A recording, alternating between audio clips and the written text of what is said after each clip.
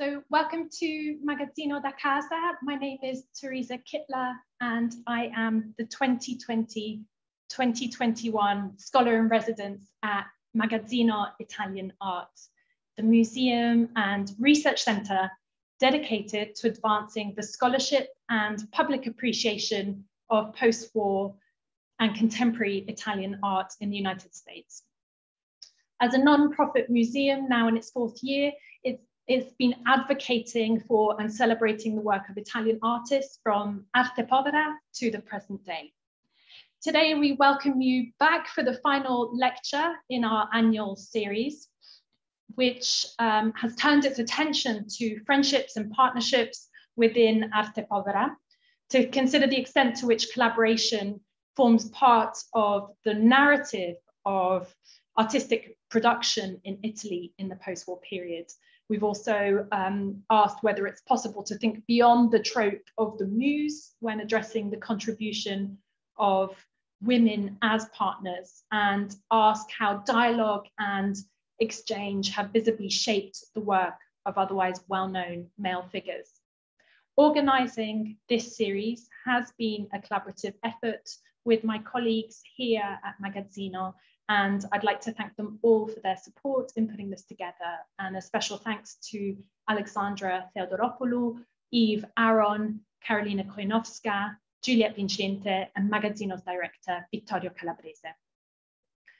You can find out more about each event on Magazzino's website page, Magazzino da Casa, and the lecture today will uh, last around um, approximately 40 to 45 minutes and will be followed by a Q&A se session, uh, which will be shared by me and to which we encourage you all to participate with comments or questions. And you can do so by signing in um, and using the, uh, the chat function during or um, immediately after the talk. It's a real pleasure to introduce the fourth and final lecture today, which will be given by Dr. Leslie Cozzi, a scholar whose work on the questions of gender and sexuality in post-war Italian art um, in relation to figures like Carla Accardi, Carla Lonzi and Marisa Merz has been such an important point of reference for me and so many other scholars.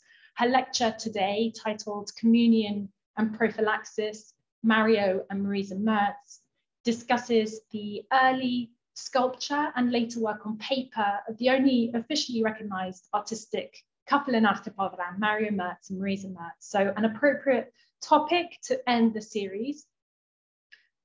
And Leslie Cozzi is the Associate Curator for Prints, Drawings and Photographs at the Baltimore Museum of Art.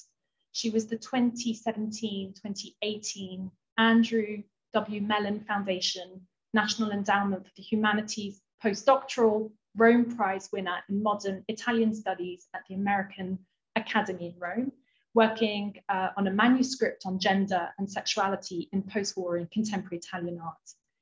Previously, she served as the curatorial associate at the Grunwald Center for the Graphic Arts at the Hammer Museum, where she helped to organize several um, exhibitions, including, but by no means a comprehensive list, William E. Jones' Imitation of Christ, Forrest Bess, Seeing Things Invisible, Tea and Morphine, Women in Paris, 1880 to 1914, and Marisa Merz, The Sky is a Great Space.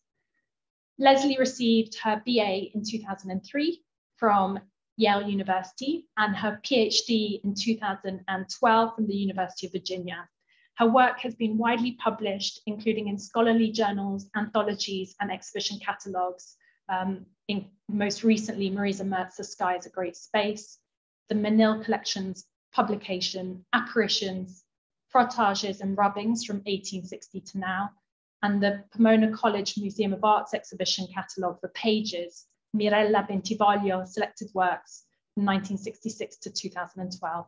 So a really warm welcome to you, Leslie. Um, you, um, I hand over to you to, to share your screen and, and start the talk.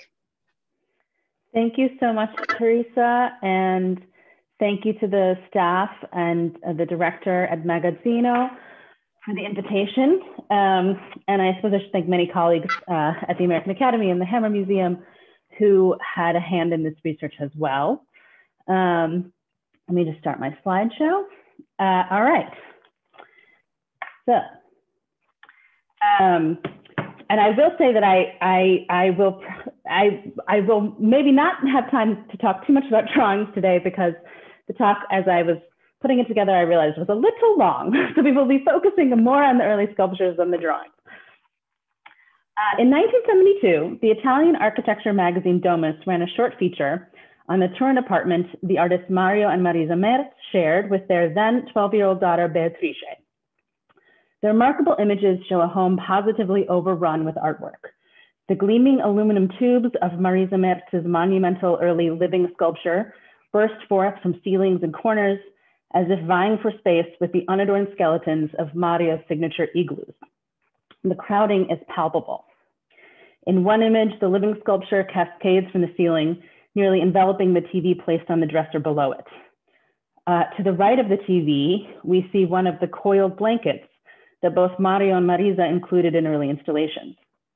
The work, it's hard to see, but it's embroidered with the phrase Hotel Chelsea, New York, uh, onto which are, and, on, and onto it are superimposed the numbers one, two, three, and five. The first four numerals of the Fibonacci sequence, a popular motif in Mario's work, are visible again just to the right of that, this time in neon, on what appear to be child's clothes. In the kitchen, the bare steel frame of Mario's igloo occupies the area next to the dining table, forcing one of the ornate dining chairs aside. Marisa's aluminum curls are suspended above the radiator, table, and stove, jostling the chandelier out of plumb and invading the space of the vent hood. In the cluttered office, or at least the room tangentially defined as an office, thanks to the presence of the typewriter, more tubular appendages from the living sculpture emerge from a corner beside the desk. One of the tubes has been embellished with splotchy yellow and blue paint, demonstrating that Marisa was experimenting with embellishing the otherwise bare aluminum surfaces at this early juncture, despite the fact that the work would not be exhibited that way until decades later. An igloo frame wrapped in netting is suspended from above as if it were a low, hanging cupola. The spatial hierarchy of the other rooms has been reversed. Rather than allowing Marisa's sculpture to rain down from above, Mario's igloo has retaken the high ground. Amidst all of this, the family is curiously absent. A single male figure is pictured, and it is not Mario, but rather the, isolated figure on the television that functions as a cheeky reminder of the absent human inhabitants. The arrangement of the works in the apartment are in some likelihood the result of happenstance, as two highly productive and mobile individuals made a virtue out of necessity in an admittedly tiny space. And yet the images illustrate a point. It is as if the scale of the artwork has grown so invasive and the competition for space so intense that the makers have been forced to scatter and their production is all that is left in their wake. I begin by talking about these images because I see this competition for space as an important metaphor for these artists' careers. The creative partnership between Mario and Marisa Merz, who were married in 1960 and remained together until Mario's death in 2003, was an incredibly productive one, and Mario's work benefited from Marisa's involvement enormously. Yet for Marisa, whose status as an artist was rendered more problematic because of her role as wife and mother, her relationship with Mario was both obstructive and generative. The photos were published at a moment that was a relatively early juncture professionally for both of them. Nevertheless, at this point, Mario's career was already more well established than Marisa's. He had already had 15 solo exhibitions between 1953 and May 1972, including venues in Paris, New York, and Minneapolis. She had had two, both of which were within Italy. Thus, already by 1972, Mario occupied the public role of the artist more visibly than she did. Yet Marisa Merz's living sculpture, displayed in the home come studio come exhibition space of their Turin apartment, penetrates every corner of the space, refusing the relative differences in scale and value by which their individual bodies and discrete practices would be defined. It caricatures the differences in public visibility and physical appearance that would become axiomatic in the critical literature on the couple. The text accompanying the Domus spread makes such, an, such differences all too apparent. The title, Piccola Casa Sotto il Grande Igloo, initiates a series of binary oppositions between Marisa, the homemaker, and Mario, the respected artist. The English translation given, Small House Under the Large Igloo, somewhat obscures the full force of the original title, as grande means not only large, but also great. The accompanying short paragraph, indicative of existing scholarship on the couple as a whole, amplifies this series of comparisons between Mario and Marisa, male and female, large and small, public and private, high and low, visible and invisible, superior and inferior. Nevertheless, the photographs wherein Marisa's work is as imposing as Mario's, if not more so, belie such gendered binaries. Thus, I read the arrangement of the works in the apartment as a tangible embodiment of an as yet unexamined premise, which insists on the ambition, scale, and seriousness of Marisa's work with respect to Mario's. So today I will be focusing the, on the roughly 10 year period between the mid 1960s and 1970s.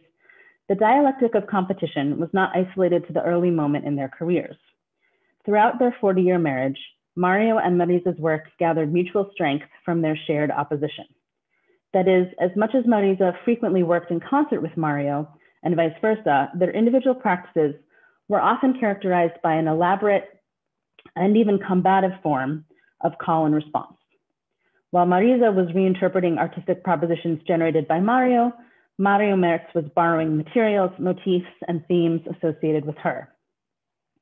If, as visible in these images, the aluminum, aluminum coils of Marisa Merz's living sculpture suggest a grotesque parody of the curved metal skeletons of Mario's igloos, then Mario Merz's contemporaneous appropriation of kitchen casseroles, bedpans, and candle wax represents a guerrilla intervention into the domestic imaginary as well. Throughout the arc of their careers, conflict and collaboration have defined i Merz as the couple would be jointly known. Analyzing individual works in light of contemporary geopolitics, developments in Italian feminism, and the new domestic landscape of the period, today's talk will explore how together the husband and wife pair engaged in a dialectic that enabled them to respond productively to one another's practices while still maintaining individual points of view. Paying particular attention to the problematic of separatism and the challenges facing women artists in Italy in the 1960s and 70s, I would like to offer a new reading that recasts Marisa Merz's well-documented interest in alchemy in terms of contemporary developments in reproductive health technology. It is important to point out that we know next to nothing about the early life of Marisa Merz. The first firm date we have pertaining to her is 1960, the year she married Mario and gave birth to their daughter Beatrice. And this lacuna has largely been propagated by the artist herself. In an exchange published at the beginning of, of a 2011 Flash Art article, Mar Marisa Merz refuses to state where she was born. Were you born in Turin? The narrator asks. I really love that city, she responds. But were you born there? And her response, I can no longer recall. Against the utter dearth of information that exists about Marisa's childhood, Mario's is fairly fleshed out. By his own recollection, he grew up in Turin and retained memories of the chestnut tree outside his window, as well as the bombings that destroyed part of his father's house towards the end of World War II. By age 18, he had been arrested for associating with the partisan group Giustizia e eh, Libertà. He was encouraged to make art by an expressionist painter named Massimo Reni and associated socially with members of a group of artists known as the Sei Pittori di Torino while reading Kafka, Steinbeck, and the anti-fascist authors Cesare Pavese and Eugenio Montale. Montale. So what remains of his early paintings bear a certain resemblance to the dense, scumbly aesthetic of Cobra and Arte Informale, two important post-war European art movements, Mario declares himself opposed to the latter and dismisses the former as a decadent form of surface existentialism. His longtime supporter, Germano Celant, hailed him from the outset of his career as a dissident and cultural revolutionary. His is a hero's entrance to the art world, one with stage guides, a trip to the underworld, in Mario's case, a year stint in the dungeon of the Carceri Nuove in Turin, and hegemonic opponents, both political and cultural, that the protagonist must somehow defeat. In published accounts, Mario Merz has offered very few details of his life with Marisa, saying only, I met her in the late 50s, then we went to Switzerland. However, for decades now, a much more audacious version of their first meeting has circulated as a bit of gossip within the Italian art world. According to this version of events, the couple met because Marisa, recently jilted by her former lover, the famous Torinese painter Felice Casorati, attempted to commit suicide by throwing herself into the river in Turin, where she, whence she was rescued by Mario. So they say. The story is, at best, a Vasarian fable, and at worst, a malicious rumor. But utterly fabricated as it may be, embedded within the fiction of this origin story is a historical reality that something did cease to exist after 1960, and it is whoever Marisa was before she was Merz. Marisa Merz has never revealed her maiden name, and nothing of her schooling, family background, childhood proclivities, really any of the relevant details typically supplied regarding an artist's early life has been published. Amidst the refusal of biography and the absence of actual historical data, folklore is all that remains. And this lore suggests an identity that was assumed, occupied rather than given, so much so that it has in fact produced confusion between Mario and Marisa Merz in multiple exhibitions and publications. In the context of historic exhibitions of Arte Povera in particular, it has often been unclear which Merz was intended by the name. Yet despite this confusion and elision of the two persons of Mario and Marisa Merz, their historiographies have nevertheless been marked by gender difference. The irony is that, as much as their work was imbricated, its interpretation was separated by inherent biases resulting from their respective roles as husband and wife. This appears in multiple instances, not least of which is the tendency to caricature the physical differences between them as a preamble to a discussion of their work. Thus, Mario looms as a sort of mountain against which Marisa appears slight, a, dis a disparity which somehow then justifies the insinuation of her work into the bounded cloister of the domestic realm. Beyond treating the connection between Merz's work and motherhood, cliches regarding timelessness, intimacy, and an innate connection to nature seem nigh unavoidable in discussion of Marisa Merz's work. Indeed, the perception of Marisa Merz as the hermit of Turin is relatively pervasive in the scholarship, such that isolation, retreat, and particularly Merz's presumed distance from her male peers within Arte Povera is the rhetorical framework through which much of her work has been understood. The degree to which troops of exclusion or lack of acceptance were axiomatic within criticism of, of her work was already evident by 1976. Writing in Studio International, Anne-Marie Boetti, the Merz's contemporary, who was the subject of a great talk by Teresa, dryly noted how male critics created a spectacle of apology. In Italy today, we frequently find, quote, in Italy today, we frequently find male art critics or amateurs who make a great show of accusing themselves of having excluded women from the mainstream of artistic activity. They exact the consecration of great women artists who had either been forgotten, for instance, Marisa Merz, or eclipsed after a brilliant first stage of their career, Carla Accardi. They exalt the entry or re-entry of these artists into the economy of artistic expression, end quote. There is a neat circularity in the idea of Marisa Merz's work, reperforming its own self-imposed isolation within the space of the gallery. This emphasis on exclusion is to some degree valid, especially given the view that, quote, he was the artist, she was the wife, something that was said to me in my research, was obviously fairly common in the early decades of her career. Nevertheless, I think that such readings misconstrue Marisa Merz's relative position within the loose constellation of figures at one point or another grouped together under the heading Arte Povera. They also ignore the degree to which her work does much more than obsessively rehearse its own marginalization. In fact, I want to argue that it is precisely how connection and separation are held in tension within her work that renders it interesting. Furthermore, the balance struck between the defensive posture embodied within the work and its more overtly aggressive character was determined not just by critical stereotypes applied to her, but also by the readings imputed to Mario's work. If wife and mother are the reigning metaphors governing discussions of Marisa Merz, Mario Merz instead appears as the nomad warrior, poet, philosopher, architect. Explanations of his work are laced with stereotypes of masculine vigor and frequently devolved into a vulgar parody of notions of engorgement and penetration. This tendency becomes explicit in the introductory essay to Mario Merz's 1989 retrospective at the Guggenheim by Germano Celant. Take, for example, a passage in which Celant discusses an untitled series Mario Merz began in 1964, a group of shaped wall-mounted relief sculptures like the one you see here. These three-dimensional works are an obvious outgrowth of the artist's painting practice, and in that respect, Celant's point is well taken. However, Celant characterizes them in extremely overblown language as actual physical ejaculations. I sometimes wonder if Celant was being facetious, but then this example is just one of several references to sex and semen throughout the text. Amidst all this masculine vigor, I suppose it comes as no surprise that while the notion of habitat has been consistently applied to Mario Merz's igloos, the, ideas of, the idea of the domestic has not.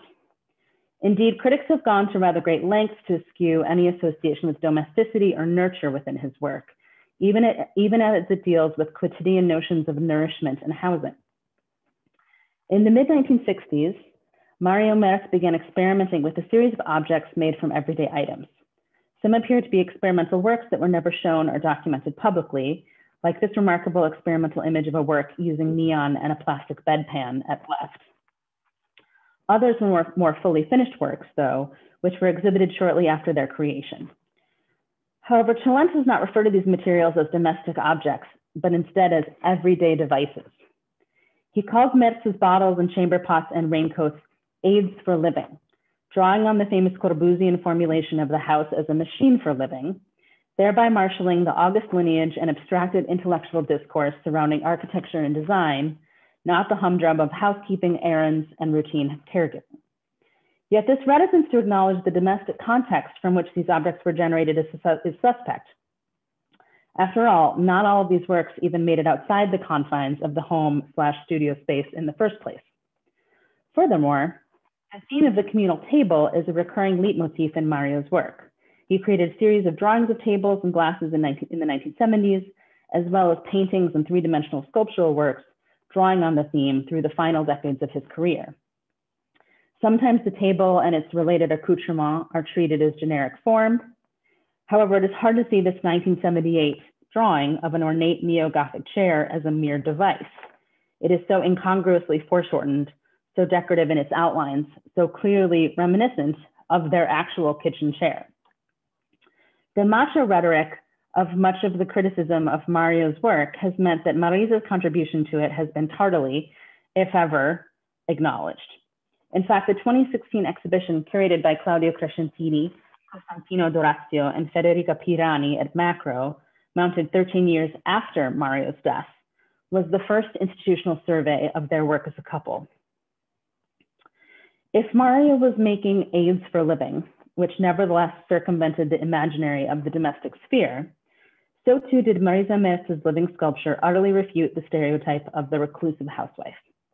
Displayed in various iterations since the mid-1960s, the invasive behemoth calls into question how much of the relative differences in stature and ambition between Mario and Marisa have been characterized.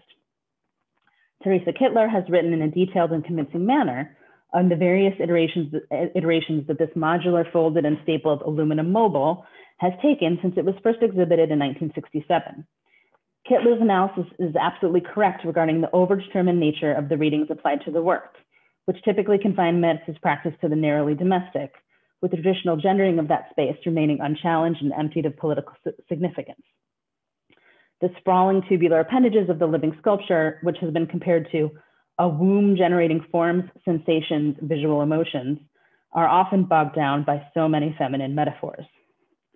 Against this understanding of the living sculpture as a pliable, receptive backdrop, Kittler articulates the way in which the work's own physicality and corporeality transcend these confines, showing how it threatened to obliterate the quote, threatened to obliterate the space in which it was created and pointed to an experience of claustrophobia and suffocation as much as it registers the time devoted to childcare. Kittler also notes the insistence of Merz's longtime friend, gallerist Alessandro Bonomo, that the work was intended to function as an obstacle. I think something more needs to be said regarding the specificity of the obstacle that the living sculpture presented, particularly as the work may have been visible within the apartment in its incipient stages as early as 1965, two years before it was exhibited publicly, and as so many of its documented iterations appear within the home. The brute physicality of the living sculpture certainly dressed something, or should I say someone, other than merely deflecting the constrictive interpretations that would be retrospectively applied to it. In actuality, it menaced the other occupants who shared its habitat, Mario and Beatrice, who herself recalls being afraid of the work as a child. The expansion and contraction of the living sculpture visualized a concern shared by Mario and Marisa Merz regarding the physical act of occupying space, a concern thematized in the experimental, highly politicized artistic climate of Turin at that moment through continual reference to guerrilla warfare and student and labor rebellion.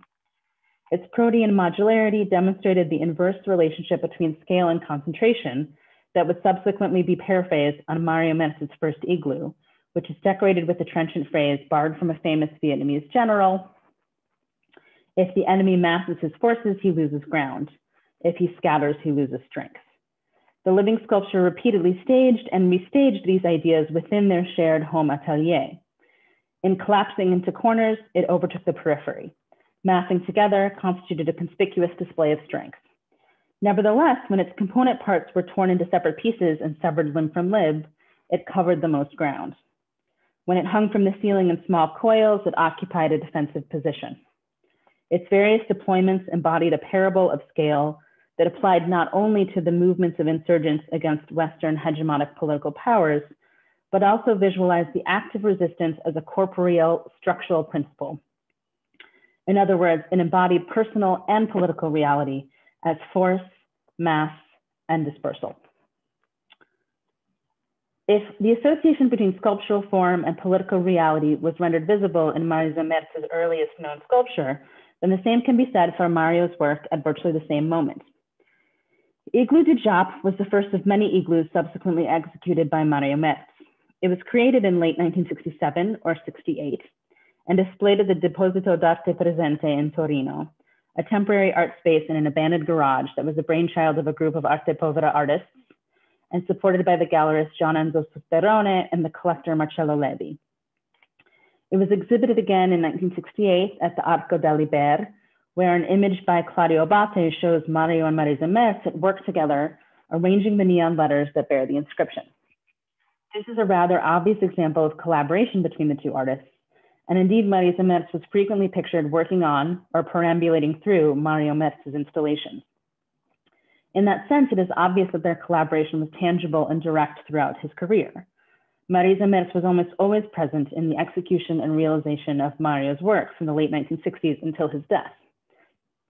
However, they collaborated in tangible, but still significant manner through the mutual responses embedded within their otherwise discrete bodies of work. Mario Merz has spoken in detail about the genesis of the igloo within his work, saying, the igloo is the ideal organic shape. It is both a world and a small house. And also, the igloo is an experienced scrap. The igloo gathers materials like a cup, its inverted shape clinging to traces of its environment, both land and architecture, as it reappears in new habitats. The igloo was thus a result of the experience of living, of occupying space and being in the world. More specifically, though, the igloo was a reminder of the couple's own highly mobile lifestyle, as the two, quote, lived like gypsies within the otherwise conventional backdrop of a middle class apartment building. It notionally transplanted the ethos of the various Turin apartments shared by Mario, Marisa, and Beatrice into the exhibition space itself. Such is obvious from the world in miniature witnessed in Mario's 1969 Attico show, which reconstructs their riverfront Turinese ambit through a makeshift bridge, igloo, and even the presence of the family car. Uh, Mario Merz also tied the igloo to Giap specifically to an experience of agonism, uh, describing combat in dialectical terms rather than purely pugilistic ones.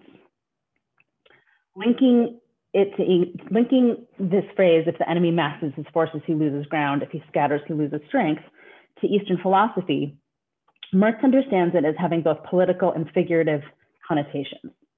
There is a literal and metaphorical non-angularity to Merz's interpretation. Just as the closed circular form of the igloo itself is contiguous, so the relative power shifts between two opposing parties, excuse me, so the relative power shifts between two opposing parties forms a sort of zero sum game. In other words, force is understood here not as a form of usurpation. Instead, force is the dispersal of mass or influence, something which is necessarily shared. It is a sort of dance between an individual and the object they are scrutinizing. When Mario refers to the person reading the words when talking about this, the igloo, uh, he is ostensibly talking about the person circumnavigating the igloo itself, and thus implicating an audience of fellow artists in which Marisa Merz, as the first likely to encounter the work, was paramount. Thus, the Igloo di Giap offers an early acknowledgement on Mario's part of the problem of occupying the same sphere as, as Marisa Merz, a problem thematized in my earlier discussion of their public personas, and again in the aggressive response to cohabitation embodied in the living sculpture. For Mario, though, the igloo also represented something of a fantasy of containment. As much as its construction entailed an acknowledgement of the other, its shape also suggested an isolated world unto itself. It also demonstrated a tendency towards camouflage. Various early iterations of the igloo were emblazoned with the phrase, objet cache-toi, object hide yourself. And Merz references secreting paintings and other objects inside that were thereby rendered inscrutable. In reference to the Igloo di Giap, Merz has spoken of his interest in creating space, quote, independent of the process of hanging things on the wall and putting them on a table. Hence the idea of the igloo as the idea of absolute and self-contained space. It is not modeled, it is a hemisphere placed on the ground, end quote.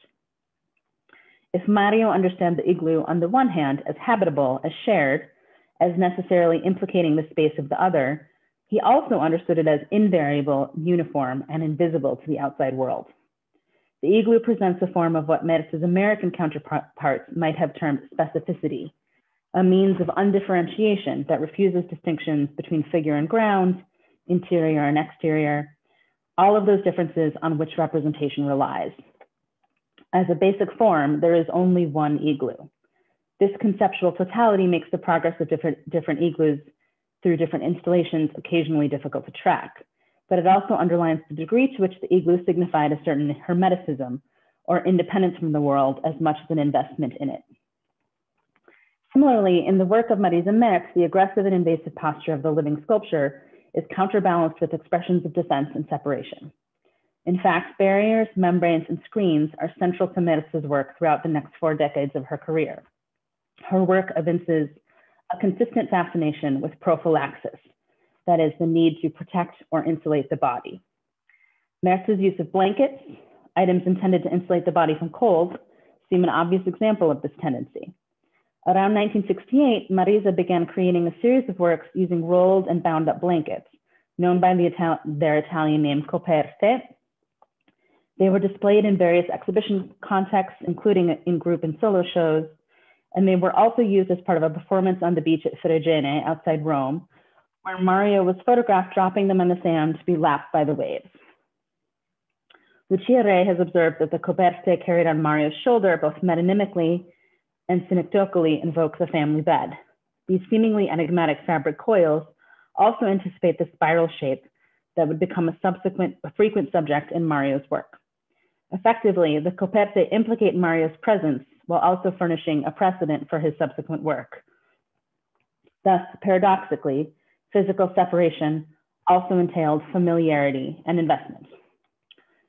For better or for worse, Marisa and Mario's bodies of works were nested together. The nautilus shell, which features in Mario's oeuvre, was not merely a physical instantiation of the Fibonacci sequence, but a metaphor of coupling, a nested line that spins out from the center, indelibly into, separating indelibly interconnected regions of space, making inside and outside difficult, if not impossible, to distinguish. The direction of the spiral is consistent yet constantly shifting, just as Mario and Marisa managed to diverge while working in parallel. Mario Merz tied his adoption of the Fibonacci sequence to biological incidence and procreation, noting, quote, we have five fingers, two eyes, and one nose, quote, and that the sequence also describes the order of seeds in a pine cone. He acknowledged the Fibonacci sequence as a metaphor for natural reproduction, wherein the preceding two digits function as parents, which generate the subsequent number, leading to a proliferation of individual units rather than the creation of a single mass. By extension, the Fibonacci sequence became a metaphor of ideal sociality. This concept was in turn embodied throughout his oeuvre in the table. In various works, both in two dimensions and in three, Mario employed the table to signify ritual and man's need for company. He explained, quote, the table is deeply rooted in ancient culture and has become a sort of habitual life companion. The table is an object which stimulates affection in that, perhaps to a lesser degree than the bed, it is an object through which the house is seen in very human terms, end quote. Thus, there is a degree to which the table implicated his own family life, as well as to the family as an institution subject to generational change. In adopting the table as a motif, Mario was drawing on prior work by Marisa, whose appropriated found tables were part of her installation, as I previously showed, at the Galleria L'Attico in 1970. The table soon became a site for mutual exchange and play, visualizing the constant reversals and inversions of their imbricated practices. The simplified round forms ornamenting Mario's early, draw early drawings, like the 1971 Spirale con tasse, spiral with cups, provoked a slew of Marisa's sub subtly differentiated small clay round heads. As if embodying the drawings, these heads would subsequently be installed as permanent guests on glass and iron spiral tables designed for Mario's installation. A similar operation is visible in the relationship between Mario's drawings of triangular shapes intended to visualize tables, radiating in a spiral outward from the center of the paper or wall, and the pennant-shaped copper mesh constructions with which Marisa repeatedly experimented in the 1980s and 90s. As Mario Merz's work evolved, the Fibonacci sequence increasingly subsumed the igloo as the grand representative of the prevailing structure of the universe. As a mental vector, the Fibonacci sequence and the spiral were perhaps better suited than the hemisphere to express both the harmony of being and the infinite expansion of time and matter. Mario's work from the 1970s onwards became increasingly addressed to a totalizing notion of creation. This demiurgic impulse was expressed through both written language and formal means. The force of Mario's timeless, transcendent, originary symbolism was such that he was hailed as, quote, understanding the totality of phenomena, and unquote, more than any single person. The audacity of such claims was matched by the seeming inevitability of the processes Mario's work described or visualized. Fibonacci is, after all, a sort of visualization of natural law, of a cycle of birth and death in which the individual is mere preamble. Of course, the evitability or inevitability of sex and procreation was precisely at issue in the 1970s in Italy, as successive waves of legislative activism renegotiated established norms surrounding contraception, abortion, and divorce. If Mario visualized the necessity of procreation and proliferation in his works, go back to this actually. If Mario visualized the necessity of procreation and proliferation in his works and words of the 1970s, Marisa Merz's use of copper mesh can be understood as prophylactic. It forms a protective layer, a patch, even a sort of chainmail when worn on the body. Particularly fascinating is the, is the resonance between some of Marisa Merz's more enigmatic sculptural elements created from coiled copper wire. This example, only about an inch in diameter, and a contemporary development in reproductive health technology, the copper IUD or intrauterine device, a form of birth control which became available in Italy in the late 1960s and which was known parochially and still is in Italian as the spiral.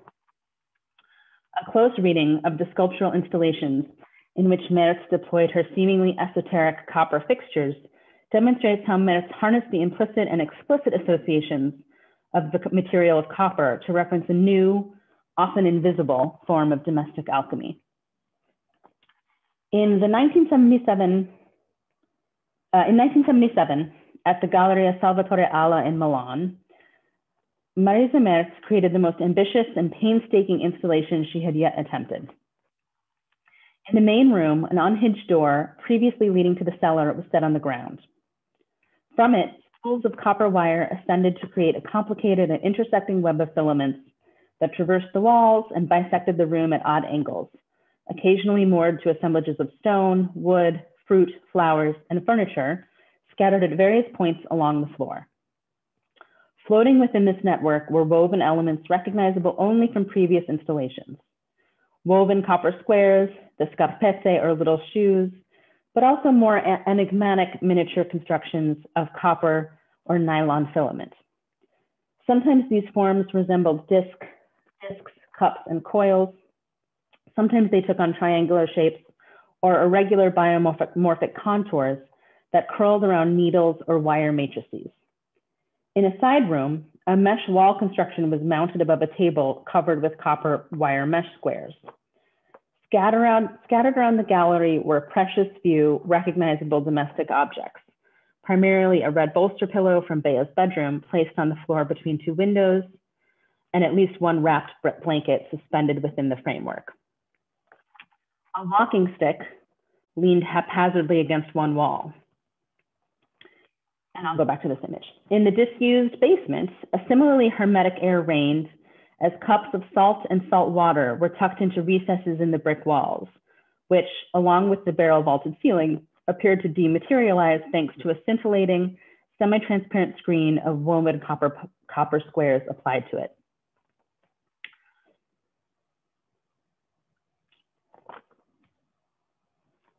Within the Galleria Ala installation, Marisa Merz's self-referentiality to her own status as a woman is both pointed and opaque.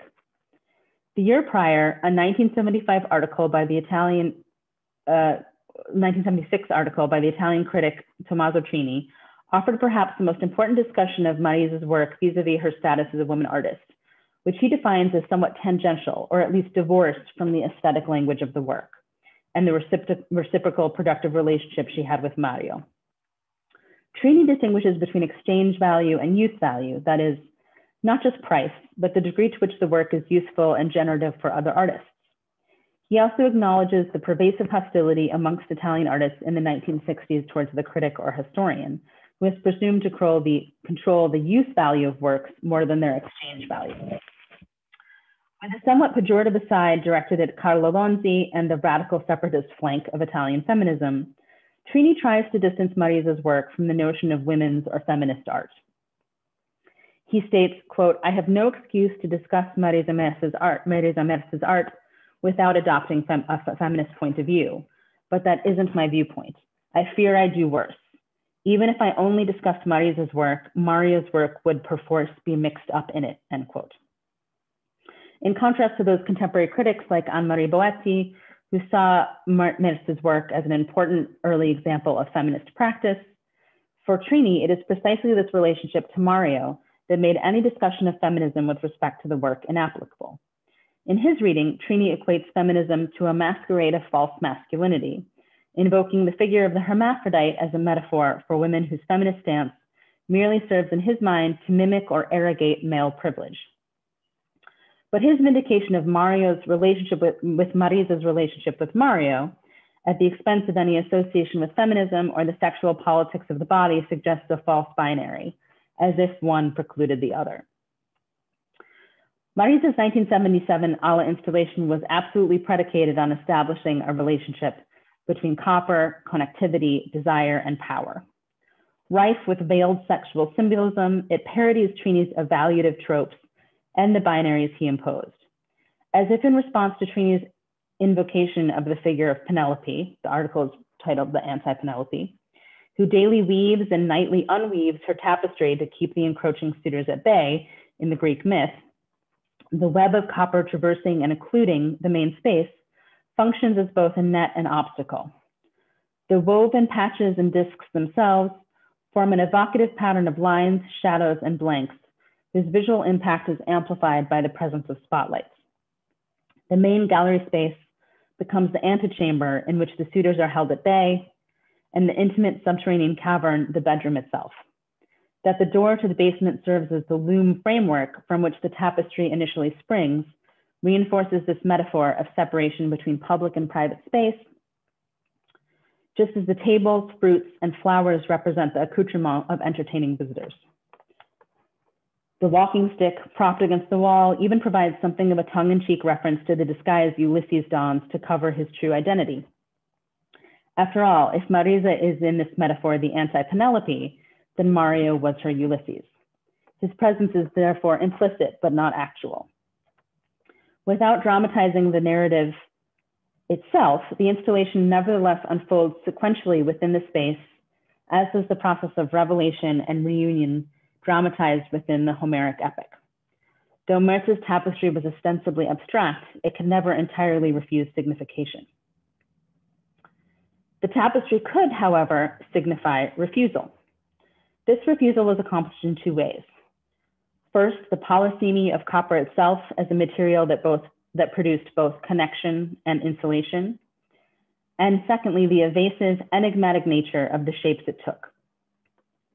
Suggesting that Marisa Merz's work invokes a, myth a mythic past, Corinna Ferrari's subsequent review of the installation spoke of the pervasiveness of copper in Marisa Merz's work. Against the princely hypnotic splendor of gold, copper instead is a utilitarian domestic metal. It doesn't stand, for, her, to quote, it doesn't stand for anything, it is everywhere. It is electric, it conducts energy. It is a metal of circulation, it is a thread, vehicle, pure circuit, end quote. For Ferrari, the fascination of Merz's materials lie in their exploration of alchemy. The quote, internal transformations of substances, the transmutation from one state to another of matter, the marriages of material, the reciprocal bond, bonds, end quote. Alluding to Mario's presence through both linguistic and material reference, Ferrari situates the Ala installation as an alchemical reaction that was at once hermetic and unifying.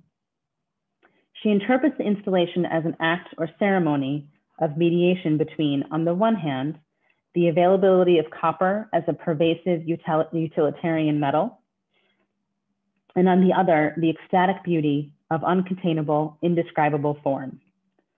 Boetti, writing in Studio International on an important presentation of Italian women artists, also evokes the notion of alchemy in describing Marisa Merz's work quote, she creates new alchemical reactions between elementary substances, between candle and lead for their different degree of softness and the consequent abuse of the one over the other, between the eternity of gold and the precariousness of salt, esoterically united in the salt ring, unquote. Thus, the different physical qualities of various elements suggest symbolic, symbolic power imbalances that are rectified only in their conjunction. For both authors, the installation ultimately functions as a, as a symbolic marriage ritual between universal elements. Yet another, and I would argue extremely important signification of copper is hidden within this discourse of desire, of consummate, of quote, consummation continually maintained, end quote. This is because copper was not just being obscured within the walls of domestic and industrial spaces, but within the female body as well. Over the course of the 1970s, in Italy as well as other parts of the world, copper was increasingly promoted for its contraceptive properties. The prophylactic effects of copper, whose filaments constituted the active element in different types of intrauterine devices, variously fabricated with nylon, silk, and other synthetic fibers, were first publicized in 1968. Though their legal status was somewhat undetermined, Copper-based intrauterine devices were widely available in Italian pharmacies after 1973. Exactly how copper functioned as a contraceptive was something of a mystery, even to the scientists involved. Nevertheless, it was well established that the presence of fairly minuscule amounts of copper within the body effectively suppressed pregnancy and resulted in physical changes to the chemical composition of the uterine membranes. Modern alchemy indeed. What Ferrari refers to as, quote, spontaneous little shapes, end quote, suspended within that web of copper were not entirely happenstance. The petite arc of woven copper, copper wire floating above the supine door is deeply suggestive of the shape, placement, and composition of the most popular of several available intrauterine devices. Indeed, Merz's enigmatic assemblages of patches, sponges, and discs, themselves sometimes no more than a few centimeters in diameter, mimic the formal vocabulary of a range of historical and contemporary contraceptive methods. that the knitting needles onto which these coils and barriers were often mounted were not just neutral domestic instruments, but remained throughout the 1970s highly charged symbols of the dangers of back alley abortions must be noted as well. It may seem somewhat outrageous to compare Marisa Merz's work to developments in reproductive technology, and I am cautious about the pitfall of essentialism. The tendency to see Marisa Merz's work as a synecdoche for the artist herself, and in particular her reproductive organs, is widespread. Such reductionism tends to mystify and impede a more ample understanding of the context in which the work was produced. Nevertheless, bodily associations are intentionally present in her work, as is evident in the grotesque jumble of metal entrails that was the living sculpture, or in the little shoes sized to her own feet. Sauzeau Boetti acknowledged that the climate of Arte Povera facilitated this. Yet in making connection between Mar Marisa's use of copper and its newfound application to birth control, I'm not attempting to chain the work to the artist's own biology. Indeed, the body is invoked precisely to distance such biologically determined destinies. Marisa Merz's work has been characterized as Venusiano, excuse me, that is, evincing a certain sensual connection between body and earth. And while that is not untrue, it is in fact more apt description of Mario's piles of ripe fruit and continued invocation of the Fibonacci sequence than to Marisa's foreboding installation and minuscule masses of copper and nylon. The contraceptive turn of Marisa, Marisa Merz's copper works offered a demonstration of refusal and self-preservation amidst Mario's continued and much publicized fascination with imbrication and pro penetration, proliferation, and reproduction. Mario would note that neon crossing through a canvas or an image is always referring to that scientific situation of which we are fundamentally carriers. We know that all bodies are traversed by other bodies. His written statements are full of repeated references to the processes of bridging polar opposites or different states of matter. Mario invested this process of transversal with a mathematic or scientific inevitability. Quote, science tells us that in nature, the elements all pass into one another. The meaning of nature is transformation, end quote. Despite Mario's stated interest in equilibrium, the spectacle of neon light ripping, burning, and piercing canvases and other objects could appear quite violent. The all installation responds to the sexuality latent in Mario's seemingly non-referential work through counter-signification. Marisa finds her own means of emphasizing the artist's mobile body, which leaves enigmatic clues in space. Yet these clues hinge on a reciprocal, reciprocal awareness of the body of the other. Marisa has never labeled her work feminist, yet she engages in a form of selective separatism that was both conditioned by and disinterested in contemporary debates. To understand how Marisa Merz negotiated these distinctions, it's important to point out that her resistance to the typical categories of art history was not a form of self-censorship. In fact, her silence was an articulate one. This antagonism played out in Ala in 1977, a grandly orchestrated display of abstract clarity and physical obfuscation. Rather than merely courting or making a spectacle of entanglement, the 1977 Ala installation functions to trap objects in stasis while choreographing the movements of viewers' bodies in such a way as to limit their access to particular zones. Physicality itself becomes dematerialized through the play of light, as the copper appears to scintillate and make surfaces dissolve, and through elemental natural processes like the evaporation of salt water. Yet calcification demonstrates the recalcitrance of these materials. The copper wires running throughout the ala space evoke the arteries of the body, but they also suggest an electric fence trapping potential interlopers. This palimpsest of public and private registers enacted at the Ala installation confuses distinctions regarding what, what constituted feminist practice, which was being defined as the vindication over, of manual over conceptual work and the quote, return of the world of little things and an upsurge of interest in the universe of private life and autobiography, end quote. But Marisa's agglomeration of seemingly unassuming objects had epic political resonances. It not only parodies Mario's public persona, but hers as well. Through metaphor and material, we see a subjectivity attempting to define its own limits while also processing the limits imposed on it.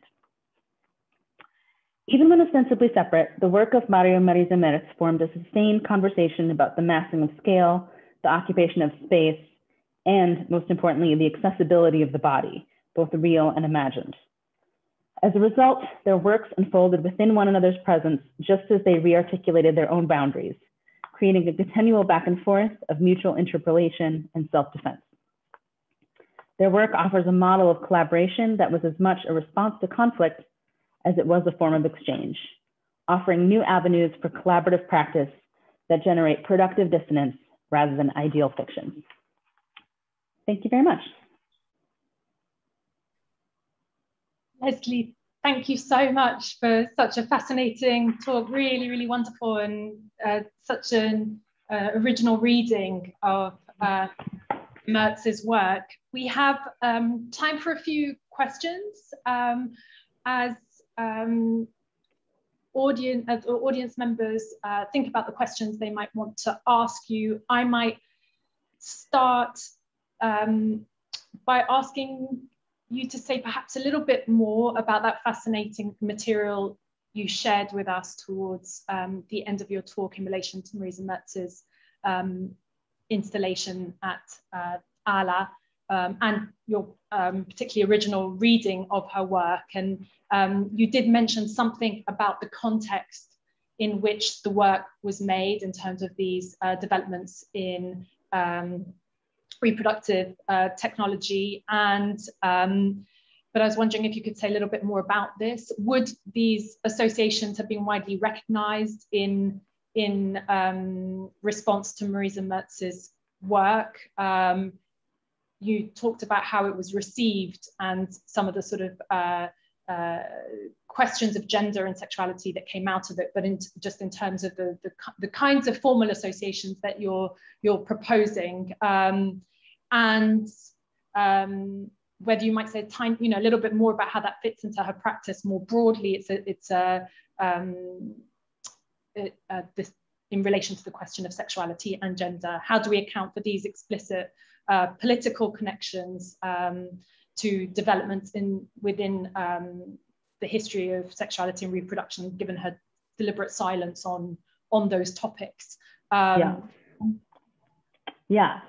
So, well, I think it's important to note, especially for view, uh, listeners who are maybe not familiar with an Italian context, that the cultural evolution that we kind of um, are familiar with from from a anglophone context was played out very differently in Italy. And I, I, for those of you have, that haven't seen the movie Divorced Italian Style, it's a good, it's a good primer to start with. But you know, in Italy, um, divorce wasn't legal until 1970, and abortion itself wasn't decriminalized until 1976. So um, the the kind of timeline of kind of feminist liberationist politics was um, uh, a little bit delayed, and, and and as a result, in some in some ways, the kind of um, really radical wings of Italian feminism were more perhaps visible than the sort of um, you know corresponding kind of style of feminism in the United States. So when when people thought when people think of feminism in Italy, they really tend to think of uh, uh, an, you know, the most radical version of it. And, and they still, you know, to this day, when you talk to women, will say things like, oh, I'm not a feminist, I like men.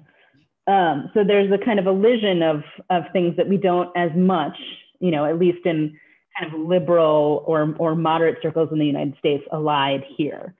Um, so, so her, I think, and a lot of artists in this moment, they're unwillingness to define themselves as feminist, I think, has to do with how feminism was being defined at that moment. And there are very rare exceptions. And even Carla Accardi, who was absolutely, you know, a founding mother of Italian feminism, within the space of 10 years, would basically deny having any, had anything to do with it.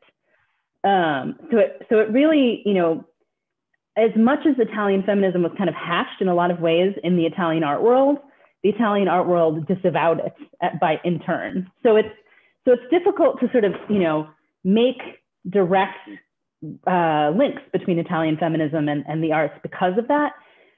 but at the same time, I think in Marisa Merz's work, you, you know, there was in 1966, she published this very interesting kind of statement of, of disavowal and, and basically saying, you know, that she makes the statement that I am, unav- I am unavailable to Mario and I'm unavailable to other men.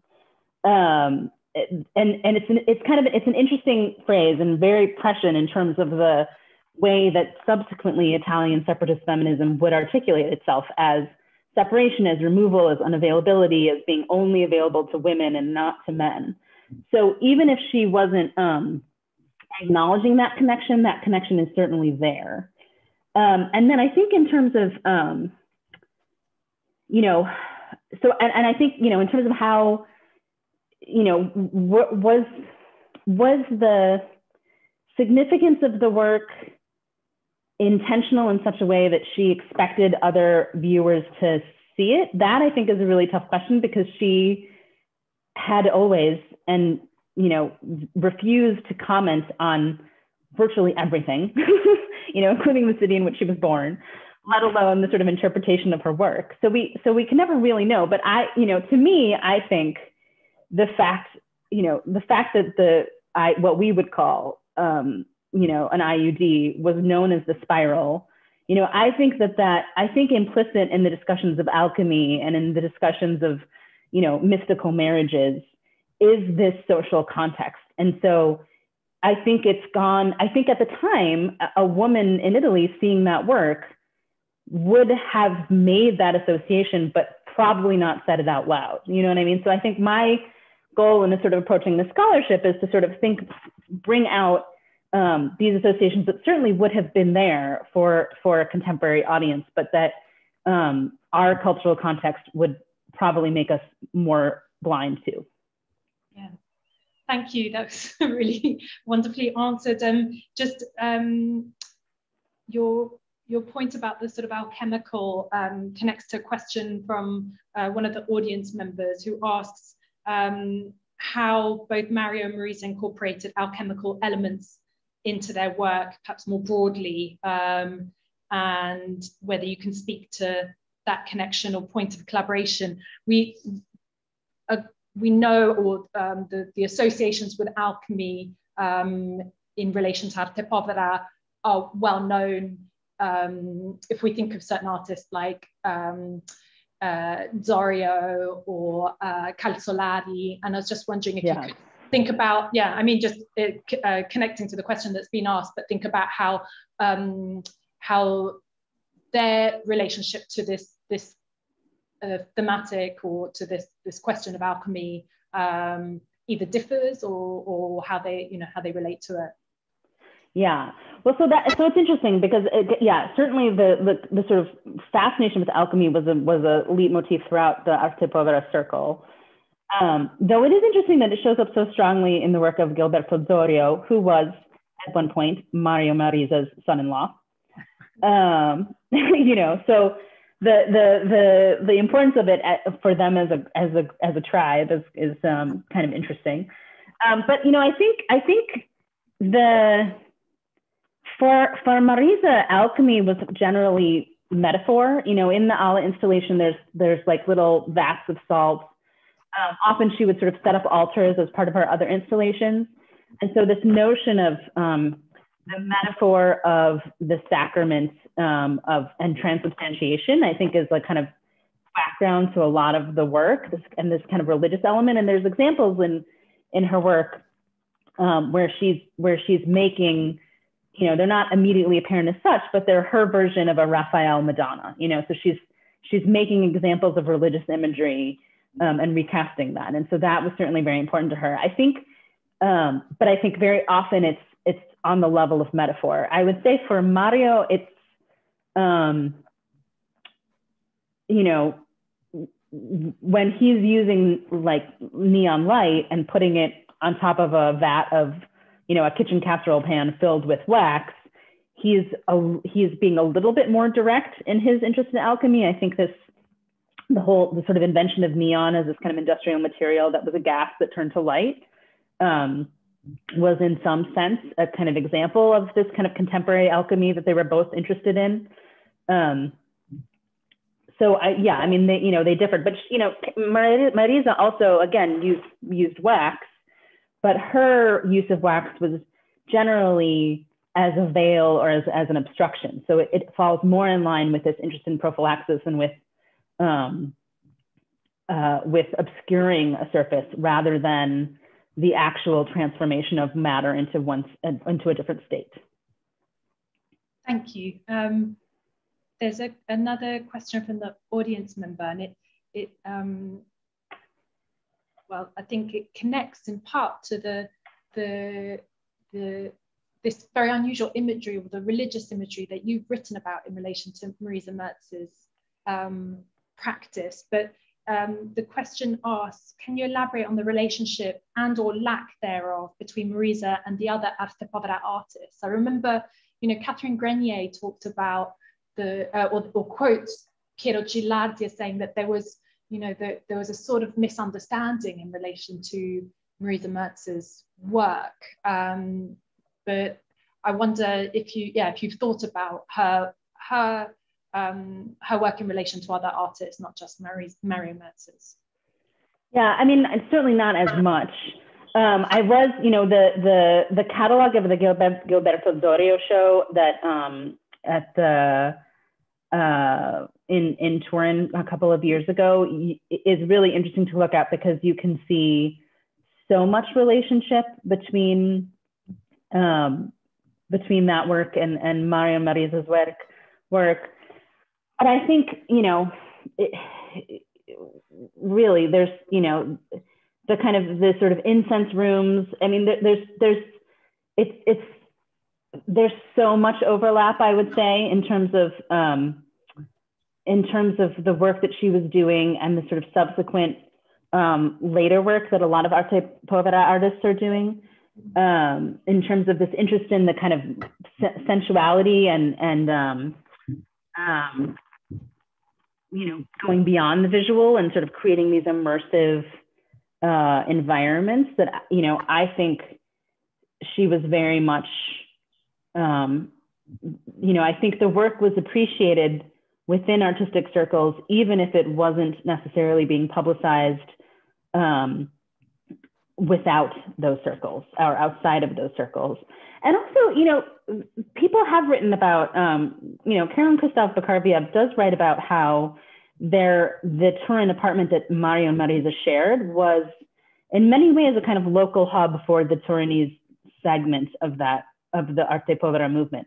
And it, you know, it's difficult because, you know, this Mario Merz, I think, was a um, a very difficult personality and and one who was maybe not always welcoming um, or approachable for younger artists. There there there's a lot of um, you know off color stories in terms of you know him destroying another artist's work because he didn't like it, that kind of thing that you hear that, you know, may or may not be true. It's, it's again, it's all art world gossip, but, um, you know, and so, so, you know, you hear all, you hear stories about like his, his being a little bit more, um, unapproachable, but that's not really the reputation that she had. I mean, she was sort of unapproachable in that she was not talkative or communicative about her work um, personally, but the work was available and she was, you know, there's, they were very much imbricated in that world. There's pictures of them at other people's openings and not even just restricted to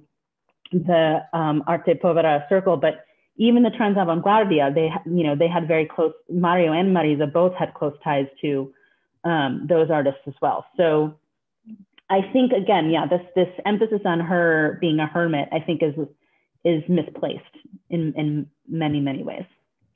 Um, yeah, that's really fascinating. I just, um, as you were talking it, it and just thinking um, about your talk in relation to previous discussions or previous weeks, um, what, what's been so striking um, is um, or some of the tensions and um, around the role and function of the biographical in relation to uh, this thematic and the attempt to kind of reinscribe some of these figures within a movement that you know um, is um, has been uh, conventionally understood as being so kind of male dominated um, and where in previous weeks the biographical um, has given us a kind of important insight into working relations um, and gives us a glimpse into perhaps a sort of slightly different narratives.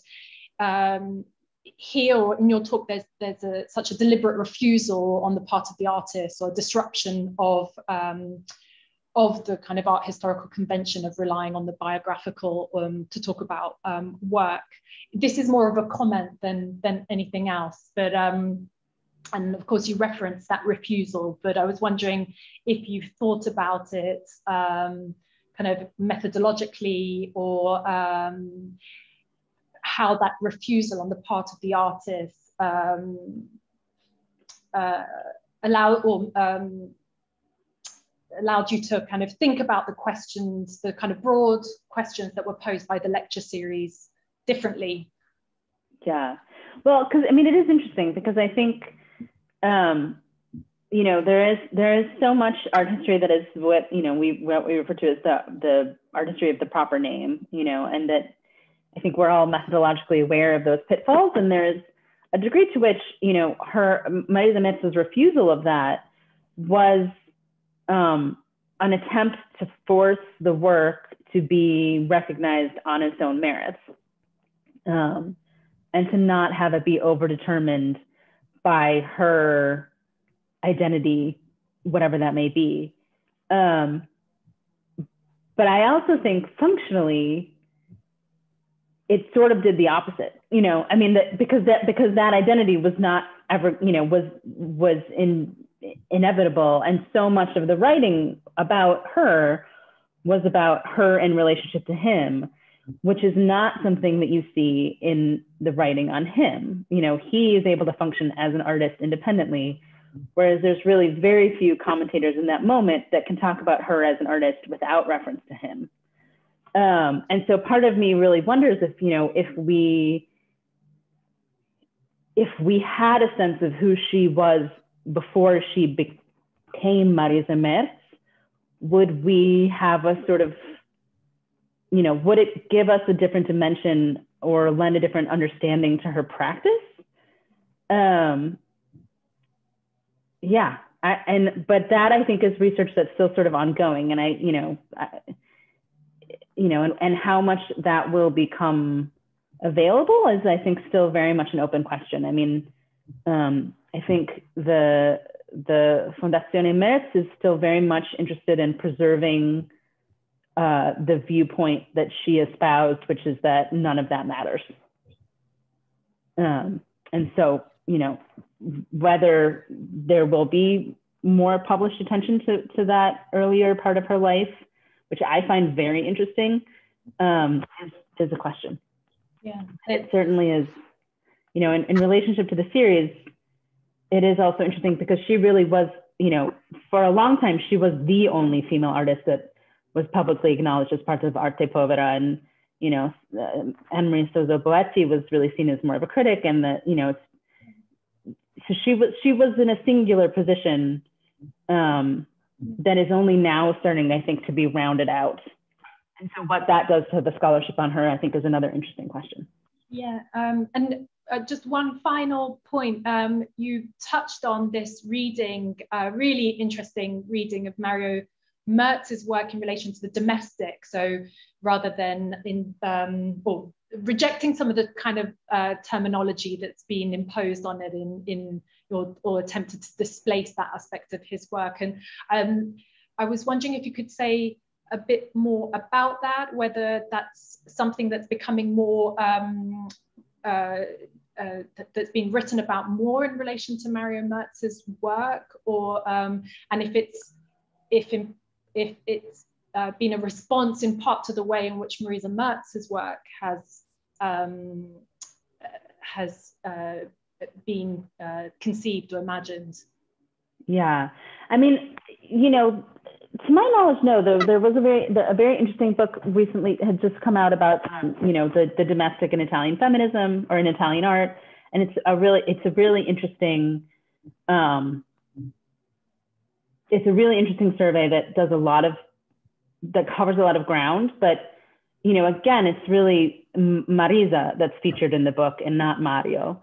So I, you know, I think that this is, I think that this conception of them as working in two different spheres is still pretty much um, the operative paradigm. Um, but I, you know, I, I do think slowly people are, because of the work done on her, it's people are starting to realize that um, there, that, that she was inevitably part of his work. But even, you know, even, even when that is acknowledged, it's acknowledged in this way where the consequences of that are really left unexamined. And one of the obituaries for, for Mario Merz when he dies, um, you know, Mario uh, Germano Celant says something along the lines of she was, per, you know, her work was perforce bound up in it. But there's not, you know, the discussion of, or, or no, I guess that's, that's Trini, but there's some acknowledgement that she was the one who was like setting his tables. But it's still this kind of very gendered binary of, you know, he was, you know, he was the carpenter and she was the cook in this very Italian way. so, you know, I think there's a lot of work to be done to sort of yeah. question that. Here, and I think that's a really good moment to end. a lot of work to be done. All that remains to be said is a huge thank you to you, Leslie, um, for your really fascinating talk. I, I, um, it was really thrilling and uh, for taking the time to answer these questions, um, but also to uh, Lucia Re and Sharon Hecker for participating in this series. Uh, Leslie's talk will be available on Magazzino's website um, in due course, where you can also access um, the other talks. So thank you. Um, thank, thank you. you. so much. And, um, and goodbye to, the, um, to those of you that tuned in. Thank you so much, Teresa. Thank you for staff. Leslie, bye. Ciao.